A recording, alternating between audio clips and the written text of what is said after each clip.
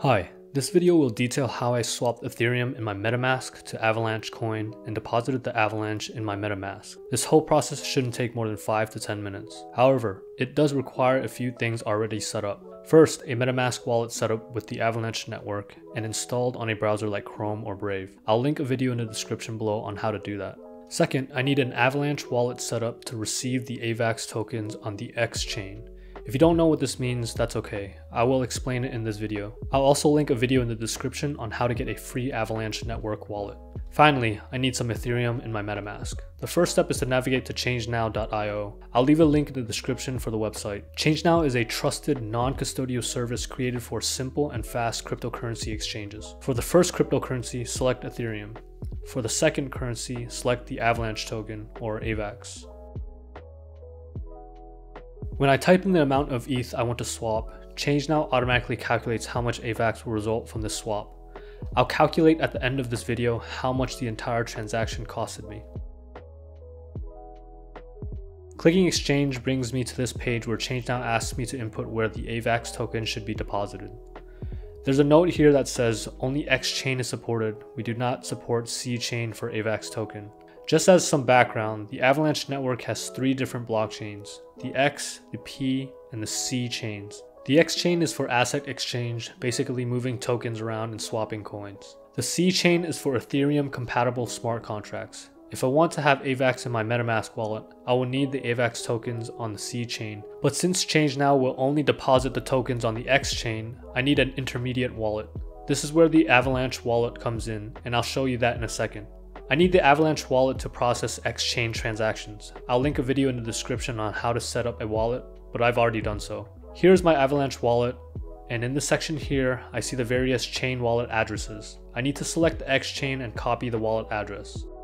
Then I paste the address into the recipient field in ChangeNow. Notice the check mark indicating that this is a valid address. I then click next to continue. ChangeNow shows a notification telling me that the network fees are high right now, and that's pretty normal on the Ethereum network. I click I understand and proceed. Here ChangeNow asks me to confirm the transaction for converting 0.006 ETH to about 0.12 AVAX. Confirming will bring me to this page where ChangeNow awaits a deposit. What ChangeNow is asking me to do is to transfer ETH into an address so that they can process the swap.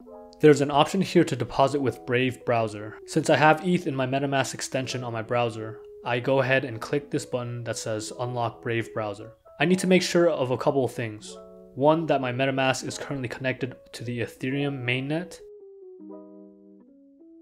And two, that I have enough ETH in my wallet to cover gas fees. If I don't have enough to cover fees, MetaMask will tell me and the swap can't go through. I go ahead and click the deposit button and MetaMask will pop up to ask me to confirm the transaction. I click confirm and now I wait a few minutes for MetaMask to deposit the funds for swapping.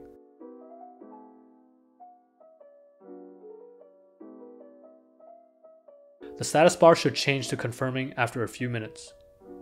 Some more waiting happens before the status changes to exchanging, and then finally it finishes on sending to you.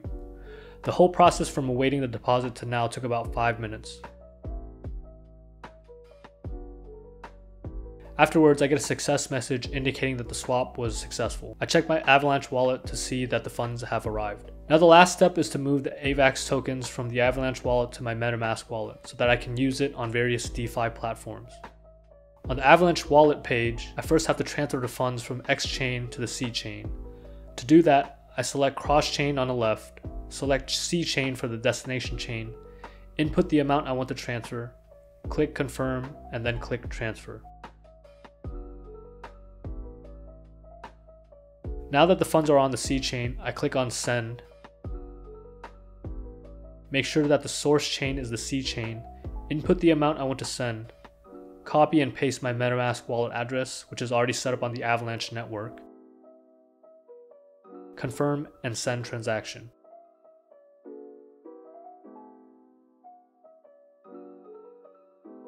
After a few seconds, the transaction goes through and I check my MetaMask wallet to confirm that the funds are in there. To estimate how much I paid for this transaction, I'm estimating it by using CoinMarketCap.